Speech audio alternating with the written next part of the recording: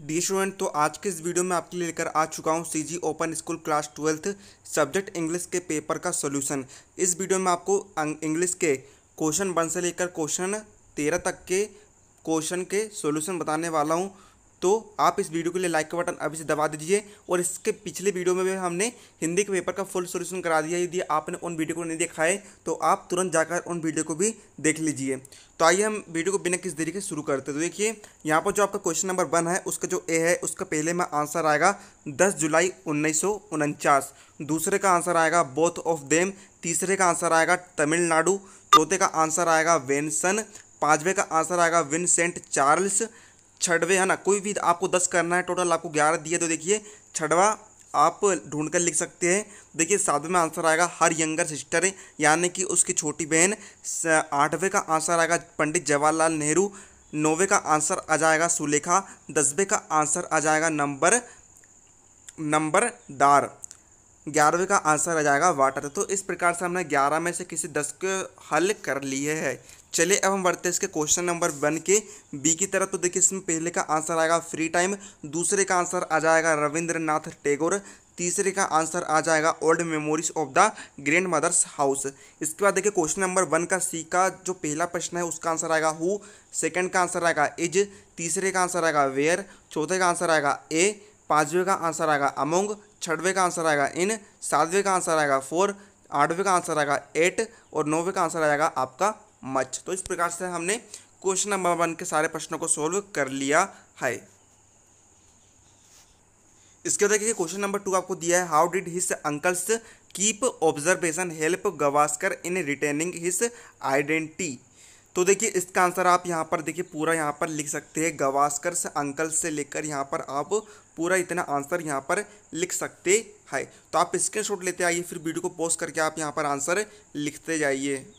तो आप यहाँ पर जो रिटेन हिज आइडेंटिटी का आप पूरा आंसर यहाँ पर लिख सकते हैं। दो नंबर के क्वेश्चन है आपके। क्वेश्चन नंबर टू से लेकर क्वेश्चन नंबर है ना इलेवन तक। तो उसके बाद देखिए जो आपका नेक्स्ट क्वेश्चन है question number three question number three का आंसर आएगा। Of happiness and enjoyment living and experience experiencing ठीक है, ये आपका आंसर हो जाएगा। इसके बाद देखिए नेक्स्ट क्वेश्चन में आप आंसर लिखेंगे। एडवांटेजेस ऑफ़ बाइंड पावर की जगह आप यहाँ पर क्या लिखेंगे? यहाँ पर पावर की जगह आप लिखेंगे एनर्जी। ठीक है?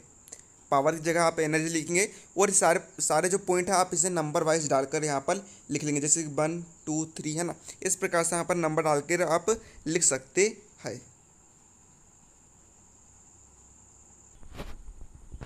डियर स्टूडेंट स्टडी करते वक्त आपको किसी भी क्वेश्चन में डाउट होता है तो अब आपको टेंशन लेने की ज़रूरत नहीं है।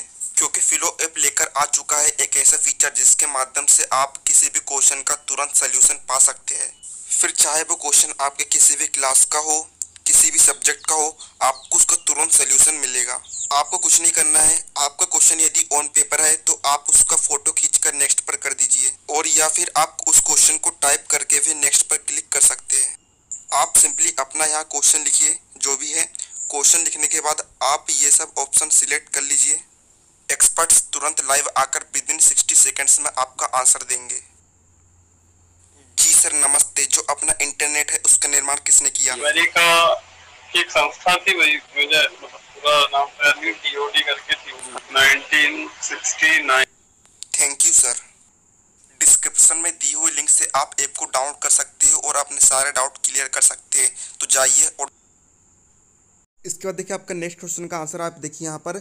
जेम्स से लेकर आप कहाँ तक लिखेंगे?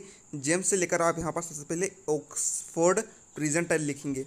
फिर इसके बाद देखिए उसके आगे का आंसर आप इवान से लेकर नोटन तक आप पूरा का पूरा लिख देंगे। तो ये आपका आंसर हो जाएगा।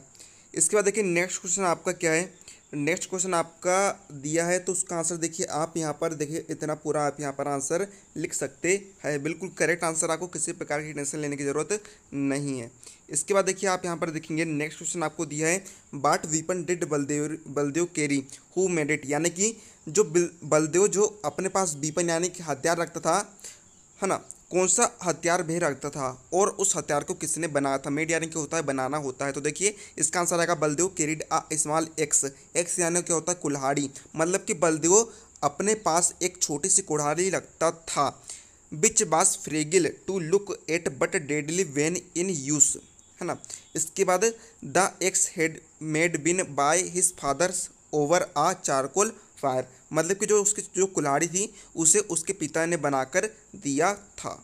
इसके बाद देखिए नेक्स्ट क्वेश्चन का आंसर आपका हो जाएगा। सी बास टोल्ड देट सी बास एन अडोप्टेड चाइल्ड इसके बाद देखिए नेक्स्ट क्वेश्चन का आंसर आपका होगा। India was shaped by her ability to adapt to the great changes and influence that come in India and India never forget her past glories and traditions इसके बाद देखिए next question answer आपका यहाँ यहाँ पर देखिए हर एंटायर से लेकर बेगवाल चाइल्ड तक आप यहाँ पर पूरा आंसर यहाँ पर लिख सकते हैं।